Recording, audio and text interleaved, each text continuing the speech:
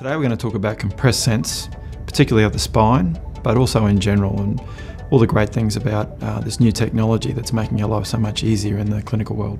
So with compressed sense, and we're looking at resolution versus time, this is where we really can have our cake and eat it as well. Even more with 3D, and anything with sparsity in it like an MRA or MRCP, we can go far beyond what we thought we could before. So when looking at the benefits of compressed sense, it's the ability to have the patients prepared have the technologists less stressed throughout the day because they have more confidence in their scans, and the patients less stressed because there's less time in the scanner and more time to prepare them. As a positive experience for the patients, essentially it's just less time in the scanner. For some people, the scanner is quite a scary environment, especially if they're already sick and got other worries, and they often come with anxiety that uh, is difficult to suppress, making it a, a, faster time in the scan and um, knowing that they can uh, cope with that a lot easier certainly makes their experience a lot nicer. Uh, and we're getting a lot of that feedback when they're coming off the scanner. They always thought it was going to be a longer scan, and they were building themselves up for something that was a lot more tortuous. Uh, whether it's got implants or not, it's something that um, we've found that, uh, if anything, we find a lot of physiological artifacts are decreased as a result of using compressed sense. My initial experience was just so pleasantly surprised. Um, after seeing in theory how this works and some of the early testing, just how easy it was to implement and also just how far you could push it compared to normal parallel imaging techniques that we've been using.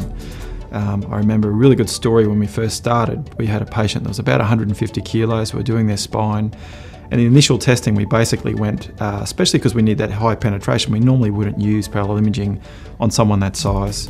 We went straight to two and instantly half the scan time and uh, it was quite a nice surprise to see the look on the radiologist's face when they couldn't really tell you which one was which. So looking for tips and tricks with compressed sense. If it's an area of the body that you've never used parallel imaging on before, you could probably start with a compressed sense value of 2 and go from there quite confidently. Um, you also, uh, you've got three levels of denoising that you can have a setting for weak, medium and strong. And medium is the default mode.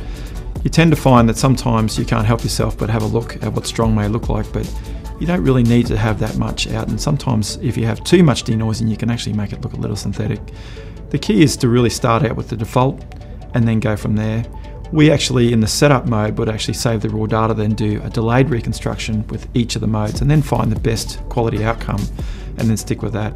From a user perspective, once it's set up, it's just point and shoot and we use it as normal. You just have a much shorter scan time and a nice quality outcome. So when looking at implementation of compressed sense, it's basically exactly the same on the user interface as using sense. Um, it's just a, a, lower parameter on the geometry tab.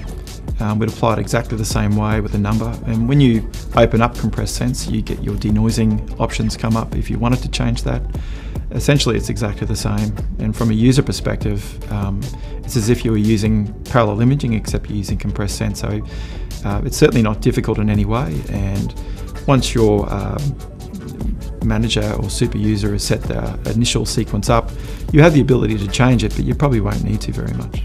So if I want to look at how many exam cards I'm using with compressed sense, pretty much every single one particularly in the latest iteration of software where we can use it with DS Zoom. And that was one of my favourite other um, implementations of the platform that we're using, being able to use no oversampling, being able to combine that with compressed sense pretty much makes it now pretty much everything has compressed sense to some degree. Uh, some much further than we ever expected it would, um, but we've been extremely happy with its outcome. And knowing where it's going, I know that um, I don't think I'd buy a scanner without it now. So, in a nutshell, looking at compressed sense, being able to make feasible to have that high image quality and short scan times is something that we never really thought we'd see uh, to this degree. The benefits of um, the speed that you can have with the quality is something that uh, once you've seen, you can't unsee.